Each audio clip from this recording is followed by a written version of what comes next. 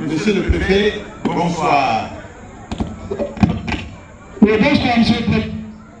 Mais nous sommes heureux d'être en connexion avec vous? Vous m'entendez bien C'est à partir de Gourominankuro, village situé dans la commune de Yamoussoukro, qu'est lancé le projet d'accès multiple à répartition de codes CDMA permettant d'avoir accès au téléphone fixe, à l'Internet et au fax dans les zones du pays non encore desservies par le réseau de téléphonie nationale. Ce réseau vient comme une réponse appropriée aux besoins en téléphonie fixe exprimés par les populations et notamment par les entreprises et les services de l'administration publique.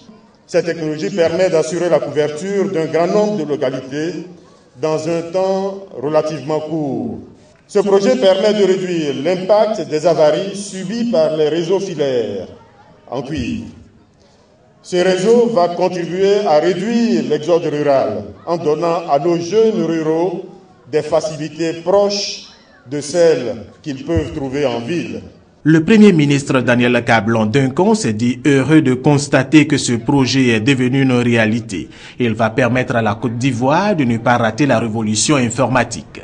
Les nouvelles routes du futur sont de plus en plus les réseaux de télécommunications qui assurent une mise en relation instantanée avec nos proches et avec le monde entier.